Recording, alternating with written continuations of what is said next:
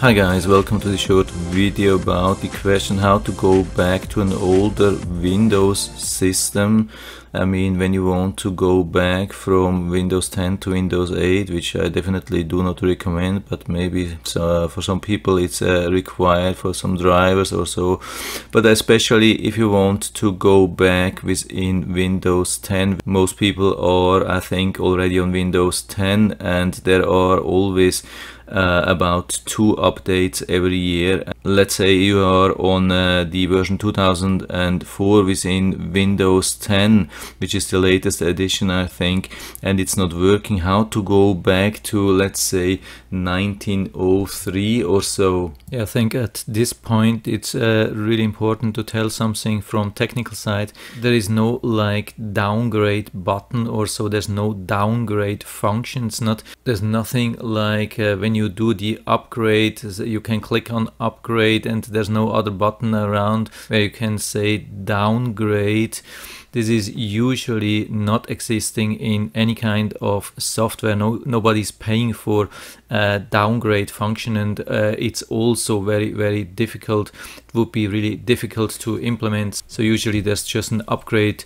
functionality implemented uh, but there are workarounds uh, for this. So definitely if you want to downgrade that would mean that you have to delete your existing system, you wipe all your data and you would have to reinstall an older version but there's also a big uh, problem to get the older version. Here we have a small overview that's from Microsoft unfortunately German version but uh, I guess you get the point here anyway these are the latest, latest Windows 10 versions, 2004 currently, then 1909, 1903.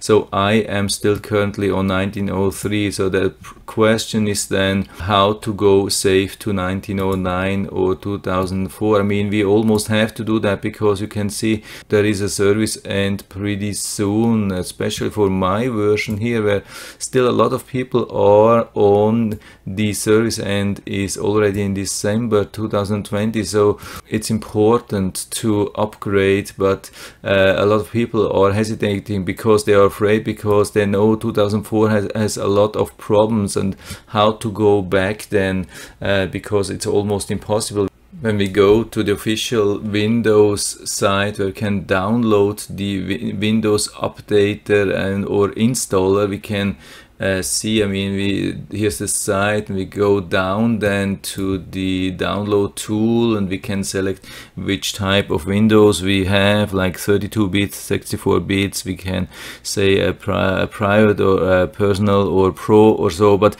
uh, there's no way to uh, tell Microsoft or the tool that we want to get an older version like 1909 or 1903 it's just always uh, downloading and, and installing uh, the latest version which would be 2004 so how to go back? And I found only one possibility and that's uh, through the Rufus tool so here we have this tool the website is rufus.ie and yeah here's the thing the problem is I mean, you need uh, to have a USB stick, of course. Uh, 8 gigabytes is required at least, or recommended. I think 8 gigabytes is still enough. And the thing is, it's not easy to find the right version because when you got get here, I mean, the tool is free, it's reliable. I haven't found any problems so far. I'm using this since quite long time. Also, a lot of other people. It looks like it's re reliable. But when you download the latest version so you can see most people would click on this thing here Rufus currently latest version 3.11 and when you uh, invoke this thing there is nothing uh, like uh, where you can download older Windows versions. So the only version which I have found is this one here Rufus 3.11 portable. So you have to really download the portable version and only then you will get uh, you will get access to older Windows versions. And I'm going to show you that here how this works so here I have both versions. So that's the, I mean, it's the 2.14, but it's not a big difference it's uh, very similar to the 3.11 but it's the not portable and you can see there's nothing about uh, upgrade to uh, Windows or downgrade to uh, Windows, uh, older Windows system.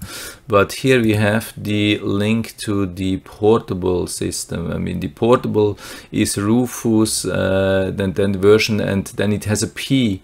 So it must have a p.exe. And when we invoke this thing here, it looks a little bit different so you have to give a permission of course and here we can see it looks totally different. So I mean to properly work we have to insert the USB stick before uh, so Rufus can detect the USB stick. So I have done it again and now you can see I have the 64 gigabyte stick here and we leave this on disk or ISO image that's good. And here we go to download. We select download. And when download is selected we have to click again on download. That's important. It's a little bit difficult to find. And we have the possibility to go back to Windows 8.1 or download uh, an older version within Windows 10 and we can click and click and click and you can see can go uh, back to older versions here. These are the versions which are available now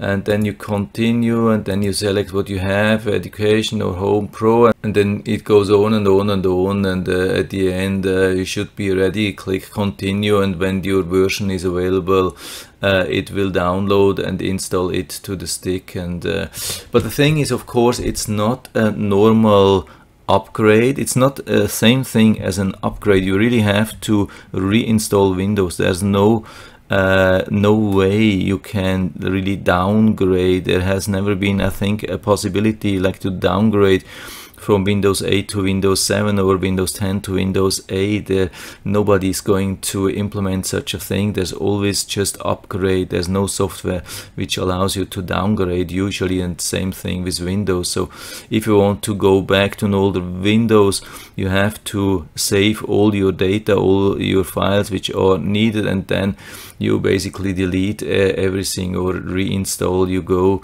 and reboot go to the BIOS make sure that it will boot from your USB stick first prior to the hard disk drive and then uh, you can install the needed version from this uh, Rufus uh, made USB stick. And regarding serial number you don't have to be worried about that. Uh, it was usually with the older Windows versions where you had to provide a serial key but with the latest uh, versions like US usually Windows 8 and all Windows 10 versions.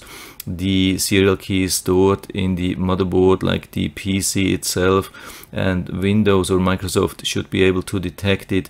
So uh, you don't have to enter serial key.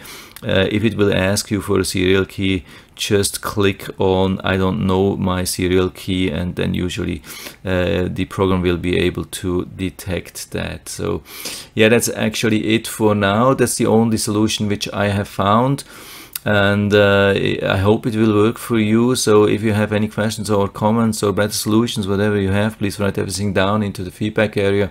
I'm always happy to talk about these things. And if you like the video, give me a thumbs up, subscribe my channel. Thanks for watching and see you next time.